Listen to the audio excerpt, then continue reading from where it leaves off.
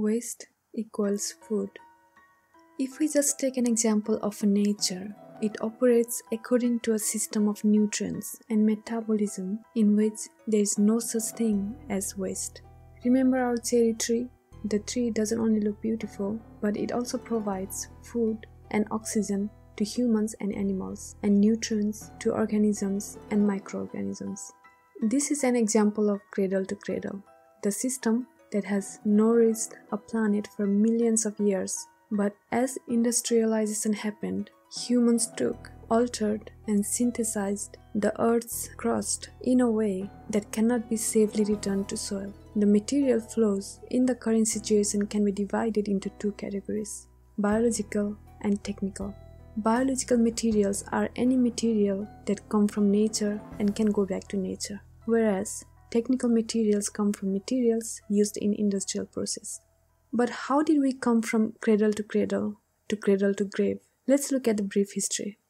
From cradle to cradle to cradle to grave, a brief history of nutrients flow. Long before the rise of agriculture, humans made their needs from local materials, which were then easily decomposed and be consumed by nature when their use was over. The biological waste could be left behind to replenish soil, which was replacing nutrients. However, the rise of industrialization led to the adoption of new agricultural tools and techniques for quicker food production. Population increased, and many communities began to take more resources and nutrients than could be restored.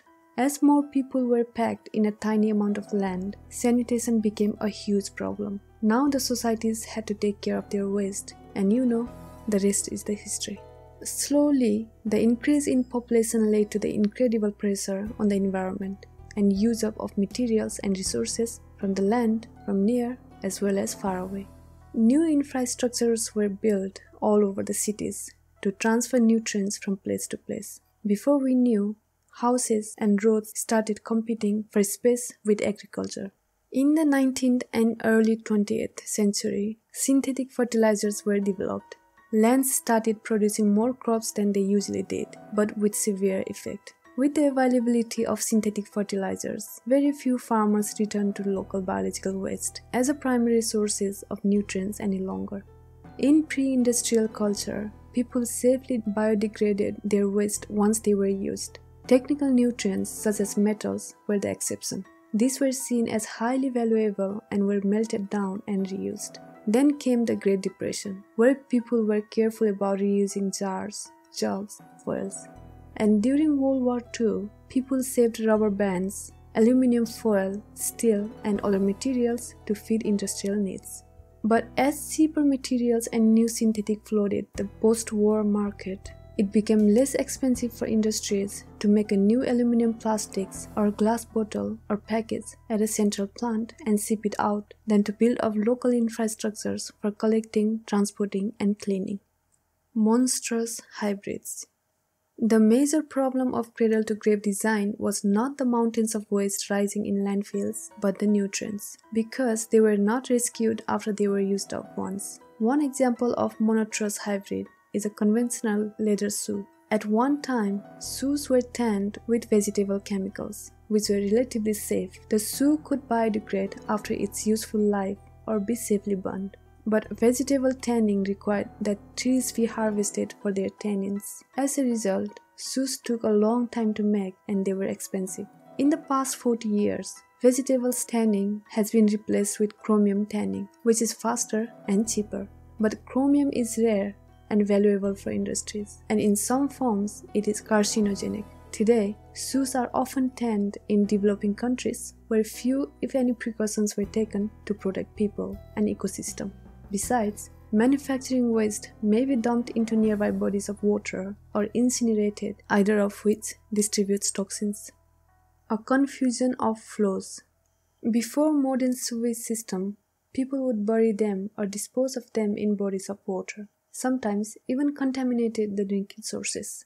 It wasn't until the late 19th century that people began to make the connection between sanitation and public health, which provided the urgent impulse for sorting out sewage system. The original idea was to take relatively active biological based sewage, principally from humans, and render it harmless. the solids were removed as sludge and the remaining liquid could be released essentially as water. That was the original strategy. But people began to pour all kind of things down the drain, and the waste itself now carried antibiotics and even waste, cleaners, chemicals, and other substances that will join chemical and biological substances. If we are going to design systems of effluents that goes into the environment, then perhaps we ought to design so that it goes as a part of nutrients flow. For example, the mineral phosphate is used as a fertilizer for crops around the world. Typical fertilizer uses phosphate that is mined from the rock, but extracting it is extremely destructive to the environment. But phosphate also occurs naturally in sewage sludge and other organic waste. What if we could design a system that safely captures the phosphate already in circulation, rather than discarding it as a sludge? A world of two metabolisms. Our life's basic needs depend on two essential elements mass, which is the earth, and energy, the sun. This means whatever in here in the closed system is all we have, and whatever we make within this closed system does not go away. If our systems contaminate Earth's biological mass and continue to throw away technical materials, we will indeed live in a world of limits, and the Earth will literally become a grave. As already mentioned, there are two discrete metabolism on the planet. The first is the biological metabolism, and the second is the technical. With the right design, all the products and materials manufactured by industry will safely feed these two metabolisms, providing nourishment for something new. Products can be composed either of materials that biodegrade and become food for biological cycles, or of technical materials that stay in a closed loop technical cycles in which they continually circulate as valuable nutrients for industry. In order for these two metabolisms to remain healthy, valuable, and successful, great care must be taken to avoid contaminating one with the other. Things that go into the organic metabolism must not contain mutagens, carcinogens, persistent toxins, or other substances that accumulate in natural systems. In the same way, biological nutrients are not designed to be fed into the technical metabolism. Now, let's look at the biological and technical metabolism deep in detail. The biological metabolism. The idea is clear here. We have to design a fabric that would not harm people who breathe in.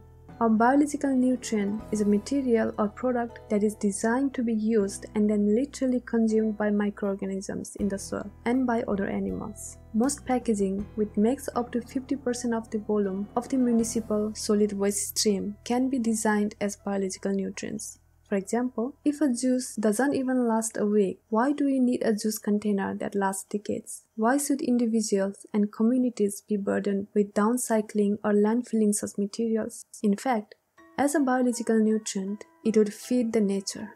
Wouldn't it be so great that after customers finished using it, they would simply tear the fabric or materials off and throw it onto the soil without feeling bad? Throwing something away can be fun, let's admit it and giving a guilt free gift to the natural world is an incomparable pleasure. The technical metabolism. A technical nutrient is a material or product that is designed to go back into the industrial metabolism from which it came. Some of them are toxic, which are wasted, but others are valuable nutrients for industry that ends up in a landfill. Isolating them from biological nutrients allows them to be upcycled rather than recycled to retain their high quality in a closed loop industrial cycle. For example, when a vehicle is discarded, its component steel is recycled as an amalgam of all its steel parts, along with the various steel alloys of other products. The vehicle is crushed pressed and processed so that high ductile steel from the body and stainless steels are melted together with various other scrap steels and materials, compromising their high quality and drastically restricting their further use. As a human, we love the idea of being powerful, honor, and unique, which means buying things that are brand new with a virgin material is part of our nature. But our Dr. Green thinks in order for our zero waste scenario to be practical, we have to introduce a concept that goes hand in hand with the notion of technical nutrient, the concept of product of service. Instead of assuming that all products are to be bought and disposed of by consumers, product containing valuable technical nutrients, for example, cars, televisions, computers, and refrigerators, would be redistributed as services. In this scenario, Dr. Green wants to watch TV. He effectively buys the service of such a product for a defined user period, let's say 10,000 hours of TV viewing, rather than the product itself. Now everyone is happy. Dr. Green, manufacturer, service provider, and the environment, as they all handle the service they need for as long as they need them and could upgrade as often as desired. Under this scenario, people could indulge their hunger for new products as often as they wish without feeling guilty.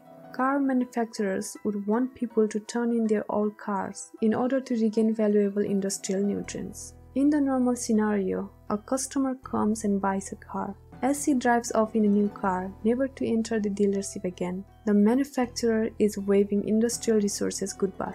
Instead, the companies could develop lasting and valuable relationships that enhance customers' quality of life for many decades and that continually enrich the industry itself with industrial food. Industry does not need to design what it takes to be durable beyond a certain amount of time, any more than nature does.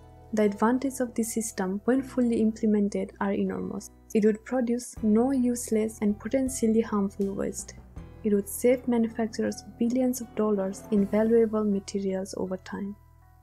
When worlds collide, if a product must, for a time being, remain a monotrous hybrid, it may take extra ingenuity to design and market it to have positive consequences for both biological and technical metabolisms.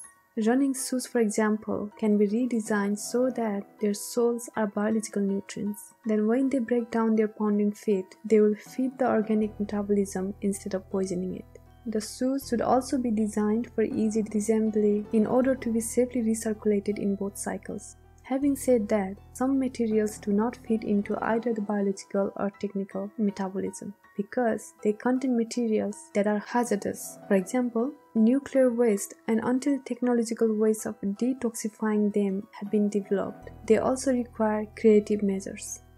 Upcycling to remove the antimony residues and to create a clean waste and nutrients would be preferable when they will eventually be disposed of to enter natural system and nutrients flow. The materials in certain monotrous hybrid could be similarly gathered and separated. For example, in the textile industry, cotton could be composted out of polyester cotton textile blends, and the polyester then returned to technical cycles.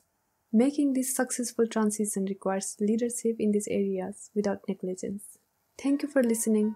In the next chapter, we'll be talking about respect diversity.